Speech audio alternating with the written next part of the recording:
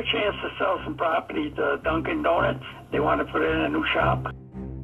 He said, I've got this corner and I've got somebody willing to pay me $650,000 for this village lot.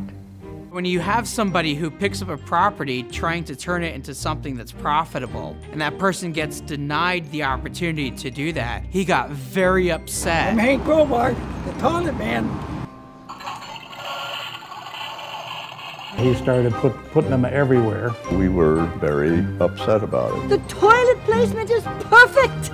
It's not a joke. I mean, it's been nationwide on TV. There's an awful lot of community support for what he's doing. You start to wonder if these people gone cuckoo. If I wouldn't get in trouble, I'd take a sledgehammer and break every frickin' one of them. He'd put the latest toilets up after his rental house was destroyed in an arson. It started a pretty big fire.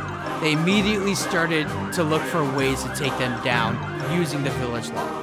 And it's done to bully people. And I believe I wasn't hurting nobody. That's when the village charged him. We tried to tell them ahead of time, don't do this. Don't do this to Hank Robar. Robar filed a federal lawsuit seeking $7 million. This would be a matter that I would love to see make it all the way to the United States Supreme Court. You screw a man over, I mean, what do you expect?